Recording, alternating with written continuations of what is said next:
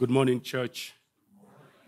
Uh, I don't know about where to start, but I bless God for being here this morning, and I bless God for Pastor Carl because this is also a sign of love and trust, just to invite me to come to stand here and speak to the congregation where God put him as a, a shepherd to watch, and not even being in town, that uh, it meant a lot to me. And uh, if you've been in this church for the past three years, that means you know me. And my, my name is Patience Kabuya Matadi. And if you are new, that means uh, nice to meet you. Uh, uh, one more thing a lot of things didn't really change. Um, I'm still married to the same girl uh, with a zero intention of divorcing. We still have two girls. I think we're done by then. No more miracles, nothing surprising. And then lastly, I still have an accent. this is a part of the thing that didn't change. I'm originally from Congo. I speak seven languages, but I focus more in French. Um, I'm going to be very honest with you that even when I'm talking to you, the truth is in my brain that think in French. And, and I try to translate that as fast as I can and say that to you. And yeah, this is how it works. With Lingala, Swahili, Chiluba, Kikongo, you just put all of them together. But it doesn't make me uh, special. I always say that when I talk about languages. In my country, we have about 400 of them. And it's okay if someone speaks more than 10 languages. It's just normal. It doesn't make you smart or nothing like that. I always say, by the way, I'm not very smart. I'm just very curious. That's, that's something about me also. Uh, today we're going to be in the book of John, John chapter 12. And the Pastor Carl asked me to cover from chapter, verse 12 and then going down. I think we're going to cover from 12 to 23. Um, I know that you guys are doing the journey. I was with him, uh, I think a week ago. We went to uh, Oregon together. We spent the time with him, and then he even told me that uh, you guys are doing the journey in the book of John. To be honest, only Pastor Carl can do it because I don't know when you guys are going to finish the book of John. But that's your, I'm going to do my part today, and I'm going to be going. Oh, by the way, yes, I'm also a pastor at a church called the Garage Church. We used to meet in a garage, but we're not in a garage anymore, but we kept the name, uh, the garage. If you ask me why, I don't know, but people think it's cool. But I say, okay, fine. If it's cool, let's do it. And then, yes, if you have your Bible, please, I would like you to have your Bible. And I would love you to keep your Bible open. Um, uh, I don't really preach very well with uh, PowerPoint, but I'll try to do it because I'm just a speaker. I like just to talk. And, and we're going to do it. I'm going to read a couple verses and we can continue. Verse 12. Uh, yeah, verse 12. The next day, when the large crowd that had come to the festival heard that Jesus was coming to Jerusalem, they took palm branches and they went out to meet him.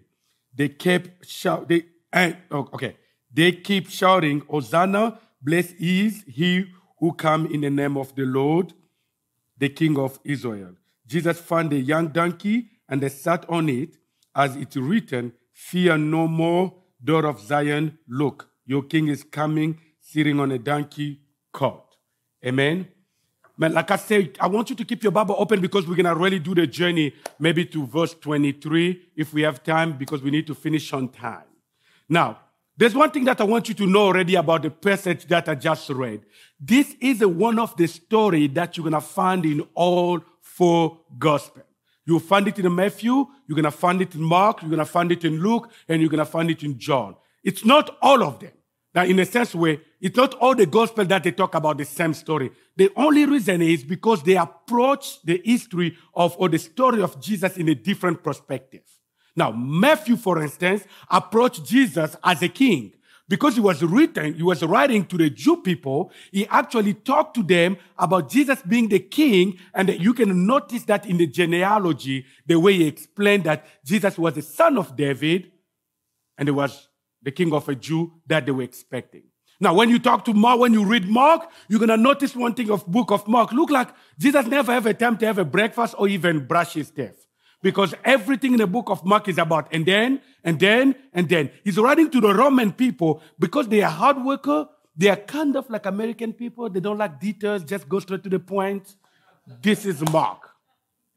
Now, when we talk about Luke, Luke is the only Gentile who actually wrote. He wrote the book of Luke and the book of Acts. And you can see that the way he's writing. He's giving more details, but he also bringing the humanity of Jesus Christ to the table. Why? Because the first century have a dispute, the church have a dispute on if Jesus was only God or Jesus was only a human being.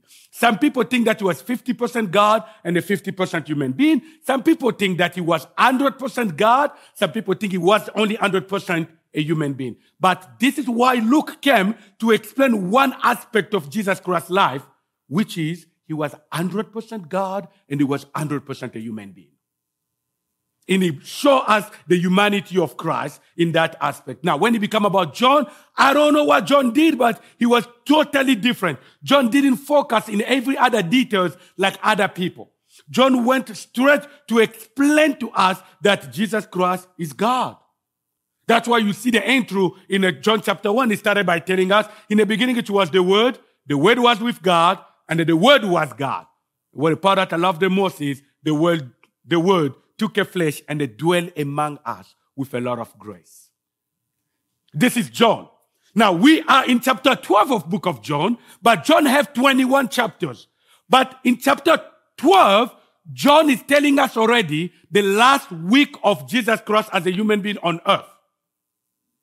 That means close to 55% of the book is just covering one week of Jesus Christ's life.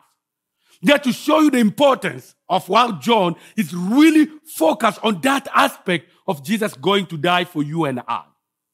And he covered that in 50%, more than 55% of that. That from chapter 12, go down to 21 is just talking about Jesus being arrested and the go being crucified.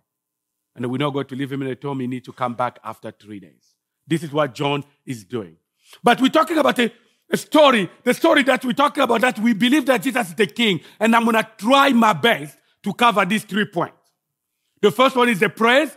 The second one is the one who fulfilled all the prophecy. And then the third one is going to be others and I. And then we're going to go to the first point. The first point we talk about the praise. The Bible is telling us that Jesus was in Bethany, which is about five to seven miles away from Jerusalem.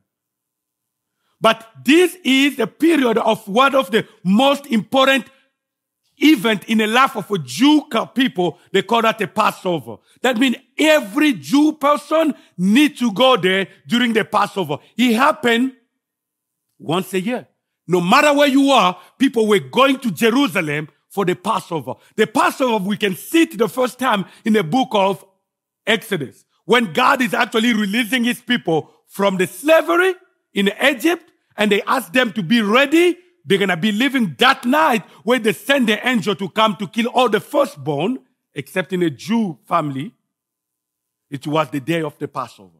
And now the Israel people, they celebrate that every year.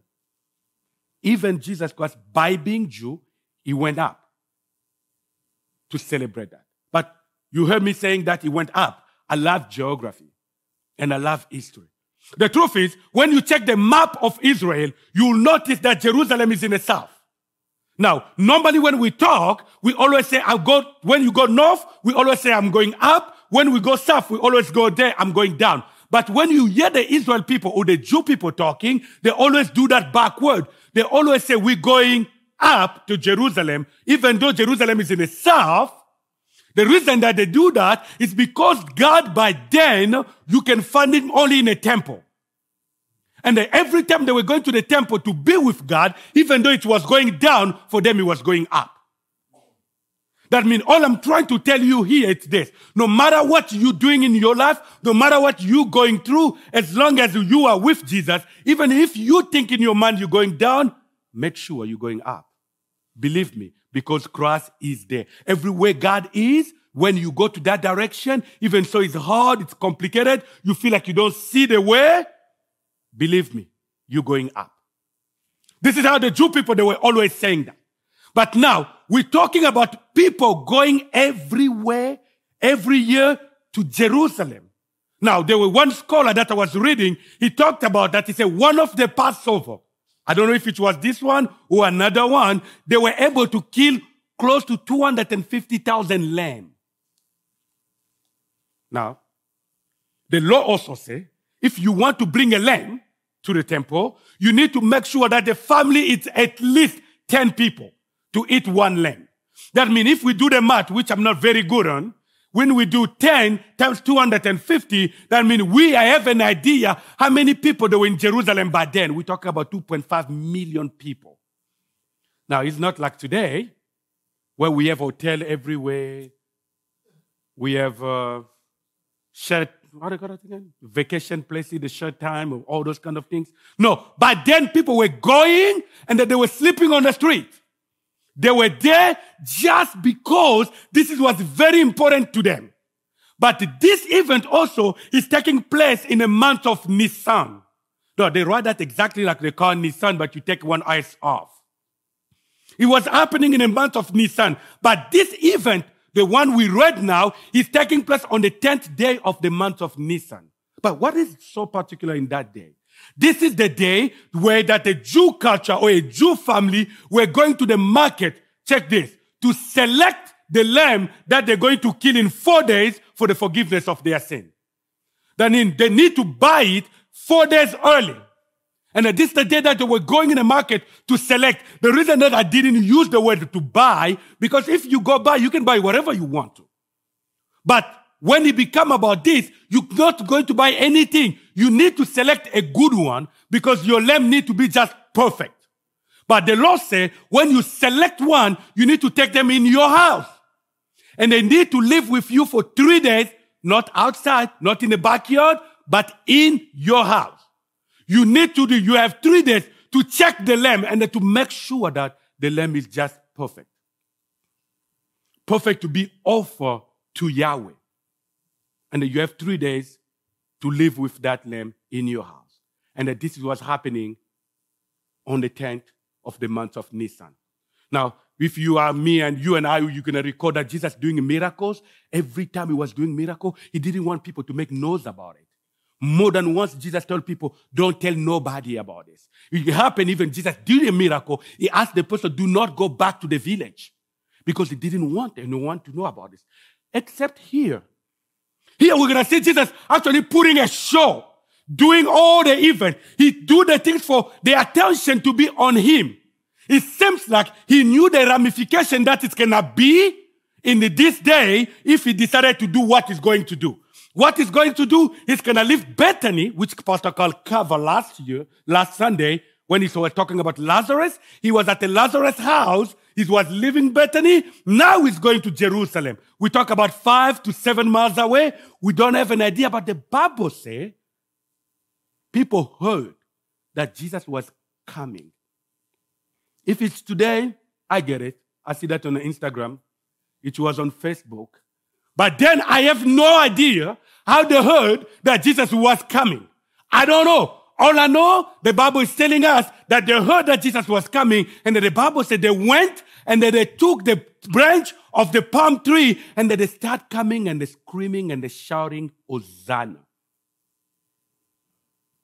I want you to understand that. Why? Because the Jew people, by then they heard about Lazarus, who was dead already. Four days later, Jesus was able to bring him back alive. This guy must be amazing. He's actually the king that we were waiting for for a very long time. We didn't have a king. By the way, he's coming from Judah. He comes from the house of David. This must be the king. Oh, they were right in that side. But they were wrong about the mission of Jesus Christ. Because for them, they think that he was coming to set them free from the Roman people. That this was not Jesus' plan. Jesus came come to set them free from the life of sin. Why Jesus did it? Because Jesus wanted the crown. But Jesus realized one thing I cannot get the crown of glory if I don't go by the cross. I want to tell you today the majority of us, we want to succeed in a certain area of our life, but none of us want to go by the cross.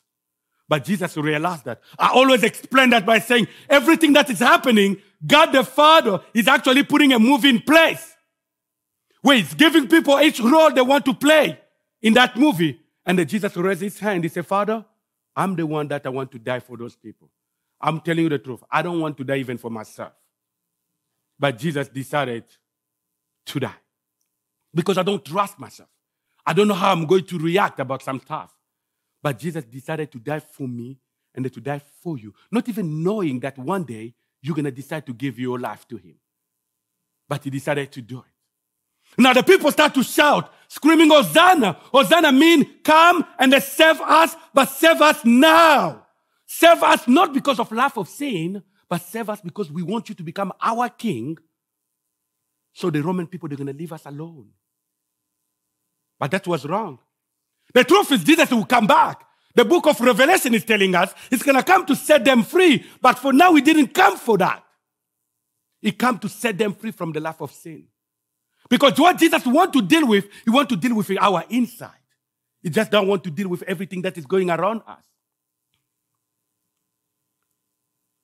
Yes, those people that they were shouting Hosanna.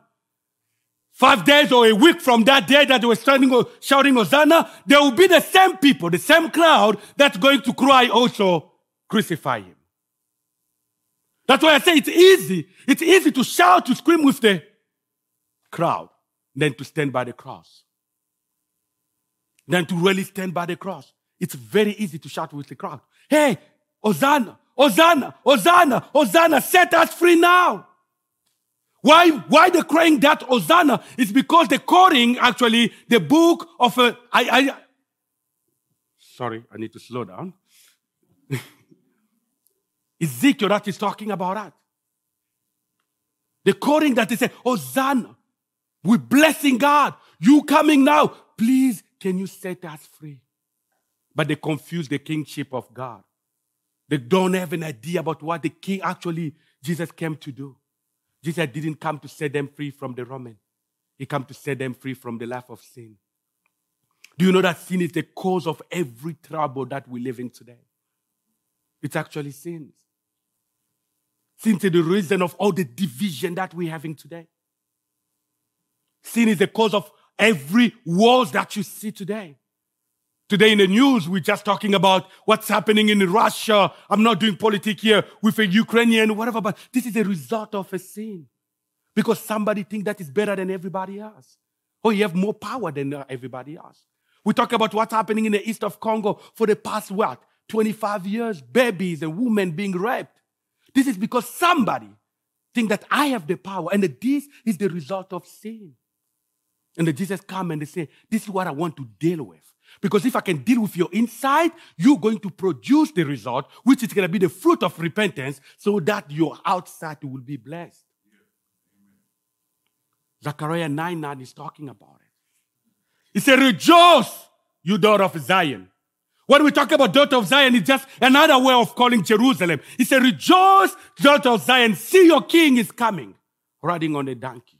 What I'm trying you to understand here, this is a prophecy that was written more than 300 years ago that Jesus fulfilling on that day.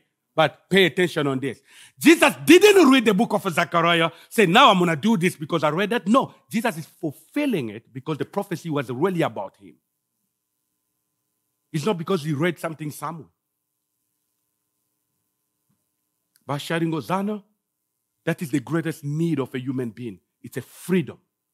But for me, Patience, the greatest achievement that God did on the world, it was not to create all of this, but it was to send Jesus Christ. You know, as a human being, we need freedom in every area. Actually, when we talk about the freedom, I think America is the best country to understand it. The world that all the wars that we have, because we're fighting for freedom. We want to be free. That is the greatest need that we want. But I'm going to tell you, the greatest achievement that God did is what sending Jesus. Why? Because Jesus is the only one can send, can set us free. Because the idea of freedom is great, but living freedom, only God can do that. I, Paul, Apostle Paul understood that very well. He's writing a letter. He says something amazing. He said, the good that I want to do, I cannot do it. The evil that I don't want to do, I always find myself doing it. That means I have, I'm full of good ideas, but I don't know how to put it in action. But the question is the most important in that verse. Paul never asked the question, how? He asked a question who? The who is the person of Christ who's coming to set us free. This is the greatest achievement that God did for humanity. It was to give us Jesus. To come and to set us free. Because, yes, I'm telling you, I, I, was talking to somebody yesterday over the phone. This is not even part of my notes, but it came my mind now. I was talking to someone over the phone and he told me he was back home in Congo and we were talking about something. He told me about, you don't understand that Congo is going very well, all those kind of things. I was in Congo in January. I told him, man, you have no idea about what you're talking about. You have no idea. Because the only way you can say Congo is going very well is if I take you there and I bring you where I am so you can compare to. But because you are there and you make suffering to become normal, part of your life. What I'm trying to say here is what? We as a human being, we are full of good ideas, but we don't have a power to apply those good ideas in our life, except when we invite the person of Christ in our life to be our savior and to be the king. Because the majority of, uh, for us as a Christian, we love Jesus to be the Savior. We love that part, but we don't want Him to be the King because the King is the one that lead us. The King is the one telling us what to do, how to love even our enemies. But it's great when we just, just when He is the Savior. But when He become a King, we don't want that power of Him. Because the truth is, when He become the King, He's going to tell us how to dress, how to talk to people, how to be nice, how to bless our enemies. Who want to do that? No one. So that God, do me a favor. Can you just be my savior? And then let me rule my life the way I want to? Even when they were crying, Hosanna, come to set us free now. The problem is, well, we don't want the Roman people anymore, but we don't want to follow your rules. We don't want to follow your rules, but just come to help us by kicking these people out. Where they're crying, Hosanna. That the truth is there. Because when they realized that he didn't come to set them free from Roman people, one week later, they were same people, the same crowd, were also there and they're crying, crucify him. Because finally we didn't get what we want. That's why we want to crucify you now. That is the greatest need. If you have that need to be set free in every area of your life where you're struggling, in your marriage, in your, with your kids and with all those kind of things. I don't know, with your work, your job, your, your relationship with your coworker. No matter where each area you're struggling today, my free advice for you is gonna be, can you invite Jesus? Because he's the only one can really set you free or make your great ideas to become a reality. I'm telling you, the majority of us, we are full of good ideas, but we don't know how to put that in action. Now, when I'm talking about those good ideas, you're gonna see if you, that's why I say keep your Bible open. When you open Zechariah 9 9, check how Zechariah 9 9 started. The prophecy that John is talking about in Zechariah 9 9, it started by saying, rejoice greatly. But when you go in the book of John, John is saying, fear no more. That means the same prophecy, two different intros. But it's the same prophecy everywhere. Except the intro, the word changed. The reason the word changed is because John realized that Jesus didn't come to set us free from the Roman people. He came to set us free from the life of sin. Great, rejoice greatly because they were rejoicing with the palm trees because they think now we are free from the Roman people. John said, no, no, no, no, we didn't get it, even us. He came to set us free from that. That's why I love the verse 16. In verse 16, he's talking about something. In verse 16, he's talking about something. Let me check that in my Bible so I'm make sure that I'm not saying. Uh... Yes, in verse 16, he's talking about something. He said, even us as a disciple, we didn't get it by then. That means everybody were just grateful because they were so in a joy because they think that Jesus come to set them from the Roman people. They didn't really get it. They didn't. And you know the reason that I love it is because even me, sometimes I realize that there's a lot of things that I don't get it. I don't get it why I'm react the way I acted. I don't get it why I do what I'm doing. But I like the way John finished that sentence until one Christ was glorified. Today I want to tell somebody something. It's okay if you don't get it. But if you want to get it very well, you need to let Christ to be glorified in your life. When Christ is glorified in your life, now the Jew people that were there, they say, whoa, we know about all of this. Man, Do you understand that to be a Pharisee or to be a Jew, you need to memorize the Torah? That means they memorized everything. Even though those things was happening in their presence, they didn't get it. You know why they didn't get it? Because they didn't let Christ to be glorified in their life. Oh, I don't want to open the, my closet of my marriage or everything. But I think more and more day and day, I'm becoming a more and a better and a better husband and a better and a better father. Do you know why? Because in that area of my life, I let Christ to be glorified. When it was full of myself, yeah, I was doing the things that I want to do. I want to lead that the way I want to lead that. And you have no idea how many troubles that I found myself. In my relationship with others, I've been in a lot of troubles because I cannot keep my mouth shut. Until I realized one thing. I need to let God get glory in this area of my life. So I'm going to learn even to apologize when in my mind I think I was just right. But in the name of peace, for the glory of God, let me just say sorry for what I did. Or if sorry because I hurt you. The disciple, they didn't get it from the beginning. And you know what is happening here? Even the Pharisee, until today, they never got it. Why? Because they never let Christ be glorified in their life. Which is that area of your life that you're struggling with. I'm inviting you to invite Christ to be glorified in that area. You learn. I'm not saying that I'm a perfect husband or an amazing father. No. But I realized that more inviting Christ in that area, more I let Him to be glorified, more actually enjoying life. Because it's not just me about me, myself, and I. The way I think that I'm going to do it, and it need to be done this way. And I loved that part when I saw it. I said, wow, even John, even Peter, Matthew, Thomas, they, they were there, and they didn't get it. Oh, don't be shocked if you don't get it now. But just let Christ to be glorified in that area. Which area I don't want to know. But you know the area. And let Christ to be glorified in that area. So you will see. You will see the things clear.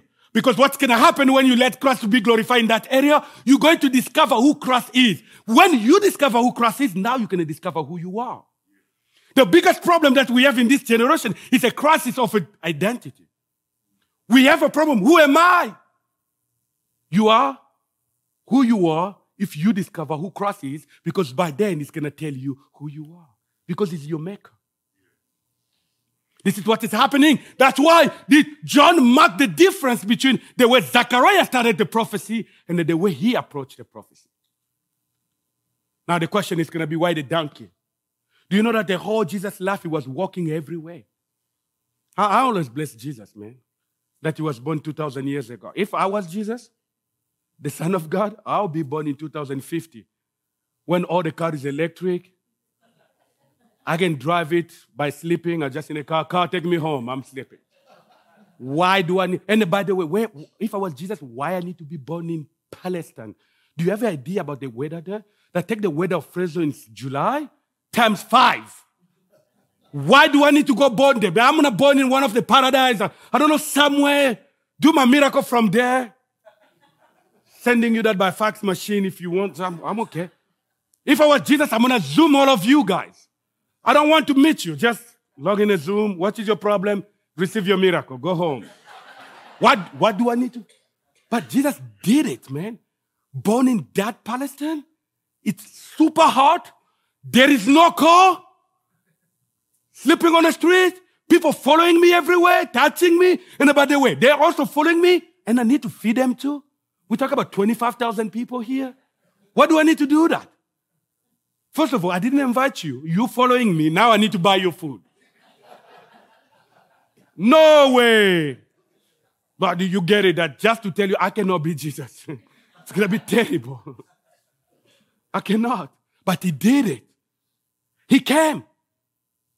He came. But the Bible is telling us that he decided to come from Bethany to Jerusalem in a donkey. Now, I want to, to bring two things here. First of all, in a Jew culture, when the king was visiting a country or city or somewhere in the name of peace, he was riding on a donkey. If he's coming for a war, he was riding on a horse. But there's also another aspect here. Exodus chapter 13, verse 13. I'm going to give you a minute. Open your Bible from where you are because I want all of us to read that. Because we're going to try to get an answer why Jesus decided to ride on a donkey on that day.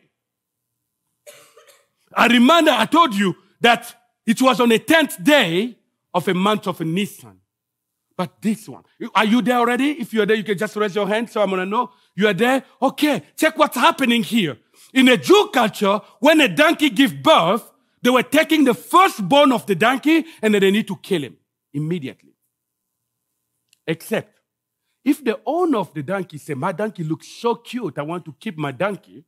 In that case, what you have one thing to do. You need to take a lamb and they kill the lamb to replace the life of a donkey so you can keep your donkey alive. Now, this is the day, what we call the 10th day of a month of Nisan, it's the day that the Jew people go to the market to select the lamb that they're going to offer to God for the forgiveness of their sin. This is also the day that Jesus decided to come to Jerusalem riding on a donkey. I don't know if you're getting that where I'm going with this. In another way, he's telling the people, I'm the donkey, the donkey need to die. I'm the lamb of God. I'm going to put my life so the donkey can live. But the question, who's the donkey? The donkey is actually you and I. He said, instead of you dying, I'm putting my life on the front line. That's why I'm going to ride on this day, the day where the Jew people need to go to the market to select the best lamb that they're going to offer to God. Actually, I'm here. You don't need to go anywhere. Select me. I'm going to go and I'm going to die for you. Your life, you can keep it. And they rejoice. And this also show the identity, the identity of Christ, being a man of humanity and just being a nice God. Jesus was just amazing. He was just amazing. And he did it. He said, instead of the donkey to die, which is the image of you and I, he said, you know what? You can stay alive. And then I'm going to be the Lamb of God, the perfect one, the one that you, all of you, going to receive in your house. And I'm going to be there with you for three days. And by the way, I'm going to go to the temple. They, all the higher priests, they will check me. And then you know what's going to happen? And I'm going to be dying. Because three higher priests need to check the lamb to make sure that the lamb is perfect from inside and out and to be crucified. You and I, we're going to agree that Jesus was checked also three times as the lamb of God and the crucified too. This is what's happening to the donkey. This is why he chose the donkey. Because I need to finish. Let's talk about I. When we get to verse 20. Now, this is where everything changed from verse 20 to the verse 23. And I'm going to be very fast and we're going to live in this place now. The, this portion, only John is talking about it. John is talking about that there was a, a group of Greek people, they were Greek, they came to Jerusalem and they decided to go see Philip and then they tell Philip what? Can we see Jesus? I ask myself a question, and the Bible is telling us Philip from Bethany. Now, you need to understand that Bethany is the other side of the lake of Galilee, and the majority of the people that they were living to other side were Gentile. Even though Philip, he was a Jew person, he was a Jew, but Philip have a Greek name. His name is actually a Greek name. Now, I mean, those Greek people, when they come close to Jesus, I don't know how many people they were there, 20, 50 million people that were next to Jesus. They heard that one of the disciples of Jesus, his name is actually Philip. You know what they thought in their mind? They said, this must be our brother. This is one of us. That's why they went to him and I love their question. He was, can you help us to see Jesus? Today I want to encourage somebody there's a many reasons why people are coming close to you. People, they went close to Philip because they thought that he was one of them because of his name. There's many reasons that people come close to you. But can you show them Jesus? Do you know that many people come close to me, Patience, because I have an accent? I don't know how many times people come to me, hey, where you come from? Big mistake. Because when you ask me that question, I'll tell you I'm from Congo, I'm a Christian, and this, and the where you come from, and then Let's talk about the Bible. Do you know how many times I was bothered by that? By me having an accent? I'm going to open that today to you. Do you know how many times I struggled with uh, the language? I didn't really like it. I did everything. But I was struggling with the language. I was struggling with my accent. Before I realized, no, no, no. This is actually a tool that God used. A lot of people come to me and asked me the simple question where I came from because of the accent, and that can lead to something else. Do you want me to tell you the truth? I became a part of this church because somebody I met, he noticed that I was different. This is John Addington. And they asked me a question, where you come from. We start talking about me and they told me about the church. And finally I went to visit this church. And this church became a huge blessing to me. Do you know how many people they come to you and they ask you a simple question? How did you do that to raise your kid like this? Don't tell them about you. The truth is they're asking you, can you show us Jesus? Do you know how many people they come close to you just because you manage very well your money? They're just trying to understand how you did it. That is the opportunity to show for you to show them Jesus. Do you know how many people come next to you because you have an amazing voice? Or maybe you're a good looking person. Maybe you're seven feet tall. They're just coming to you because of that. This is the opportunity for you to show them Jesus. When they say coming, this is the greatest need of humanity. They need Jesus. When they're coming, the Greek people, maybe they were following Yahweh already. I have no idea. But they come and they say to Philip, Can you show us Jesus? All I'm trying to tell you, there's many reasons why people are coming to you. But can you take that opportunity to show them Jesus? Can you take your problems that is attracting people to you to show them Jesus? I'm going to finish to tell you a testimony which is actually a reality is that I was a youth pastor here and the God decided to call me as a pastor. We decided to leave. We were here. Pastor Carl blessed us. The whole church prayed for us. We left. We went to plant a church. And there were about 25 of us. And then we went. And then we start bleeding, working hard. As you know, church planted with all the up and down. But I just noticed one thing that we are about 100 and 150 of us because everybody don't come at the same time. But you know how the church works in the United States. But there's also another thing that we did an Easter Sunday. We have about 250 people coming. And then we were sitting there. I was reflecting about it. I was reflecting about something that's happening in the church. 60, 55% to 60% of the church are Hispanic. 35 are Caucasian, and the 15% are African American. Now, I was sitting in a corner, and I'm thinking, because I consider myself as the other, I'm not part of all the group that I mentioned here. And I was sitting there and asking myself a question God, why, how this happened? This is where I got the answer for what I told you about my accent. I realized that the majority of the people think that I'm an outsider. And the majority of people, they are very attracted to my accent before they realize how weird I am. People come and God does that. I say, I use what you were complaining about it to bring people next to you for the glory, for my glory. But Patience, you have only one duty. Show them Jesus. I didn't call you to tell them about your business, about how to. Can you just show them Jesus? This week, I don't know who's gonna come next to you to ask you a question. How, why you dance so well? Why you always dress very well? Why you, your color, your hair is always amazing? This is the opportunity for you to show them Jesus. Let's pray. Yahweh, we bless you. We bless you for being our God. We bless you for coming on earth and taking our place and dying for us. God, we bless you because you fulfill all the prophecies, Yahweh. God, we bless you because you are really the king who decided to deal with our inside first before to deal with everything that was happening around us, even though we know you're taking care of it because you are Jehovah Jireh, the provider who provide every area of our life, Yahweh. Today we bless you, Yahweh God. We're making ourselves available to be used by you. God, give us the ability and the capacity when, when people are approaching us, Yahweh, we don't need to show them anything else than to show them Jesus, Yahweh. We bless you for who you are, God. God, thank you for this amazing church. Yahweh, we bless you for our pastor, Pastor Carl, Yahweh. Where he is, Yahweh, God, allow him to rest and to enjoy his family, Yahweh, until you bring him back in town again. God, I pray for everybody else at this place that they have questions. My prayer, can you be just the answer? God, I pray for everybody that they have a problem, Yahweh. My prayer, can you be the solution, Yahweh? God, I'm praying for everybody that they are lost, Yahweh. Can you be the way? God, we glorify your name for who you are because there is no God like you. That's why we bless you. That's why we say thank you. In the name of Jesus, we pray. Amen.